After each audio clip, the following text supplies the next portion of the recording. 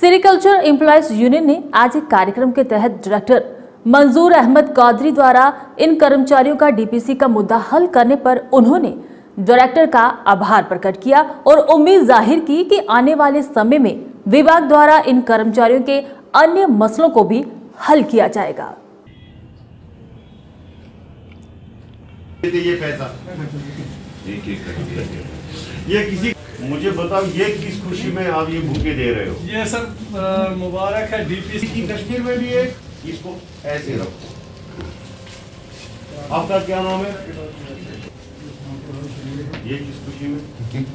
आप तो काम हुए हैं हमारे डिपार्टमेंट में ये जो आपका क्या नाम है? शुभम। ये कहाँ है? मैनेजर मैनेजर सीट में था वो अरे मैं ये क्या कर रहा है? कर रहे हैं सर? लड़के फिर भी कर हाँ। उस टाइम भी चालीस से पचास आदमी हुए थे। डीपीसी में। तो उसके बाद ये तब से आज तक। होना चाहिए।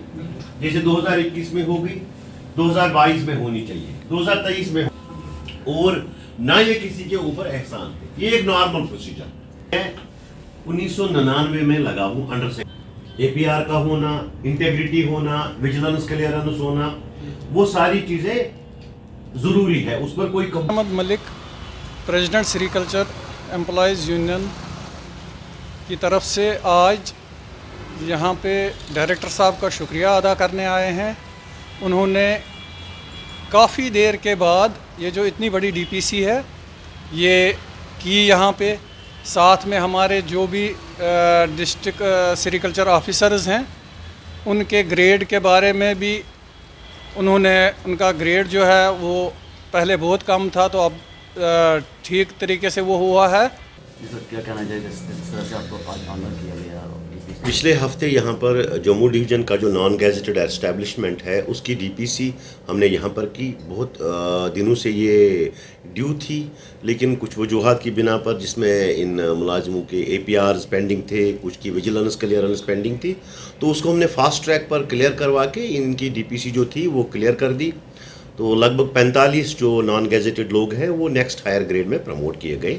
इससे पहले हमने कश्मीर डिवीज़न की जो डीपीसी वो की थी तो उस वक्त इन लोगों की कुछ डॉक्यूमेंट्स जो थे वो पेंडिंग थे वो नहीं आए थे उस वक्त। तो इस वजह से ये डिले हो गई वरना ये तो आ, 2021 के साल में ही हुई होती। लेकिन अभी इनकी जो ये जो पेंडेंसीज थी वो क्लियर हो गई और अब ये डीपीसी हमने इस बार क्लियर की। लेकिन ये मैं इंश्योर करूँगा कि ये एक रेगुलर फीचर होना चाहिए।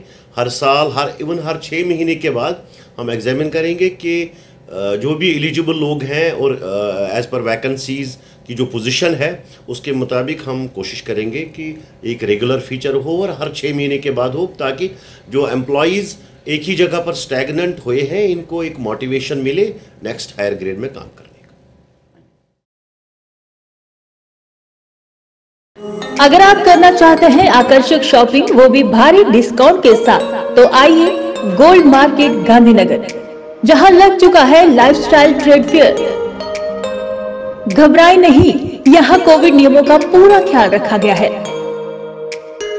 तो खुलकर कीजिए शॉपिंग क्योंकि यहाँ है सहारनपुर का मशहूर फर्नीचर फुटवेयर आर्टिफिशियल ज्वेलरी जयपुरी चूरन kids stall household items herbal products, kitchenware items, crockery, watches, readymade curtain, suit and saris, और भी कई आकर्षक स्टाइल तो इंतज़ार किस बात का?